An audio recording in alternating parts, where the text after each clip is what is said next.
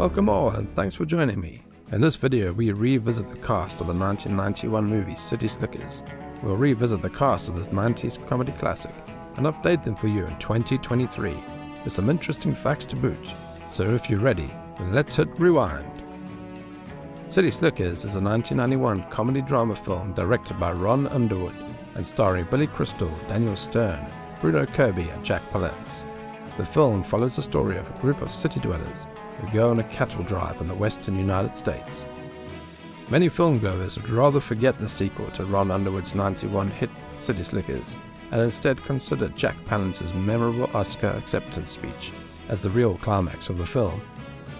Palance finally won an Academy Award at 73 years old and used his time on stage to prove that age is just a number by performing some one-arm push-ups, much to the delight of the ceremony's host and Palance's City Slicker co-star Billy Crystal and millions of home viewers. When Crystal first came up with the seed of the idea for City Slickers, he immediately thought of Jack Palance as the crusty bad guy with the heart of gold. He thought of him because the first movie he had ever seen was the 1953 movie Shane, where Palance played the bad guy. The actor left a lasting impression on Crystal, who was seven years old at the time of his first movie-going experience.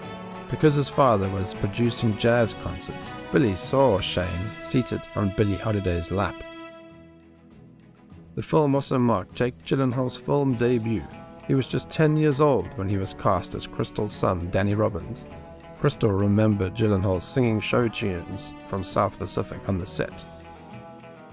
Rick Moranis was set to play Phil all along. Daniel Stern became a last-minute replacement for Moranis who had to drop out after his wife was diagnosed with liver cancer. She sadly passed away the following year. Jack Palance initially turned down the role of Curly as he was committed to another project. So Crystal offered the part to Charles Bronson, who was not pleased. He cursed Crystal out because he was dead on page 64. Palance of course ended up taking the role and the rest is history. Palance got into an argument with the director on the first day of shooting he apparently yelled at Ron Underwood over his first direction, but everything went smoothly after that. When Crystal asked what had happened, Palance explained that he always gets nervous on his first day of shooting.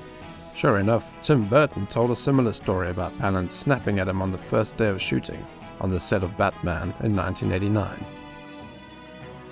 City Slickers went on to be a box office hit, reaping in $113 million from its budget of 27 million.